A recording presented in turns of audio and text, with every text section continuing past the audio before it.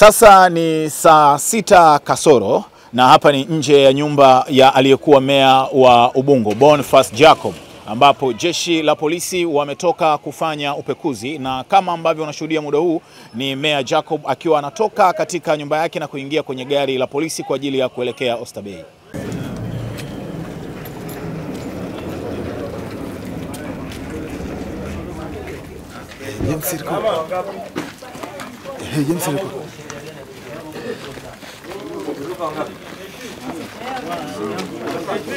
Kama Mwasha.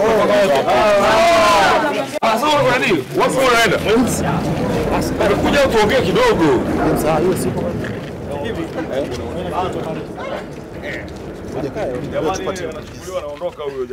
kama ambavyo unaona ni meya huyo mstaafu Boniface Jacob akiwa anaingia kwenye gari la jeshi la polisi na kama ambavyo unamuona e, na hiyo ni ametoka e, katika nyumba yake baada ya upekuzi ambao ulikuwa ukiendeshwa na jeshi la polisi.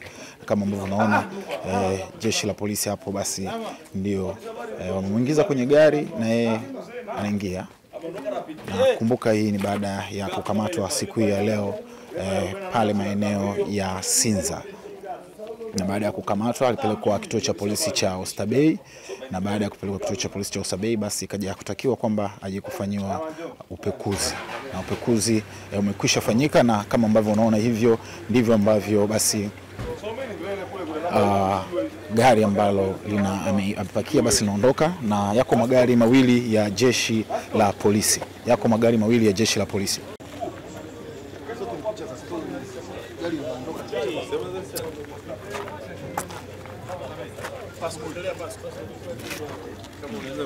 Uh, hilo ndio gari la jeshi la polisi.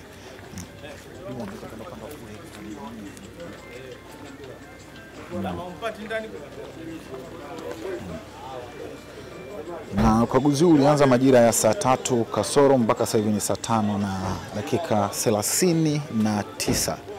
E, gari hilo la jeshi la polisi, na kuna baadhi ya watu wa jeshi la polisi eh, lakini pia eh, kuna viongozi wa chama cha demokrasia na maendeleo Chadema pia wako hapa kama ambavyo unatazama eh, ambayo unatufuatilia ndani ya Ayo TV.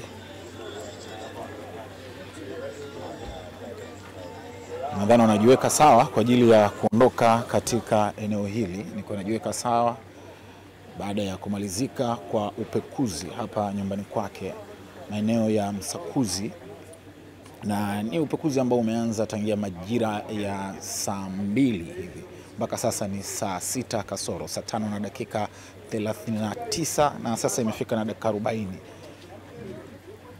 upekuzi na ikumbuke taarifa ya jeshi la polisi ilitolewa ikasema anashikiliwa kwa makosa eh, ya kijinai.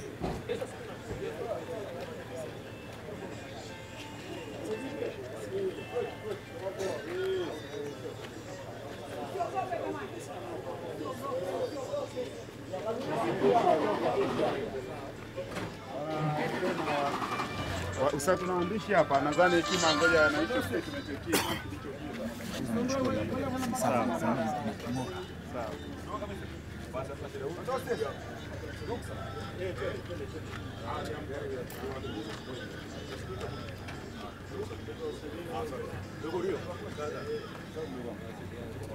Makamada people, Power. No hate. No fear.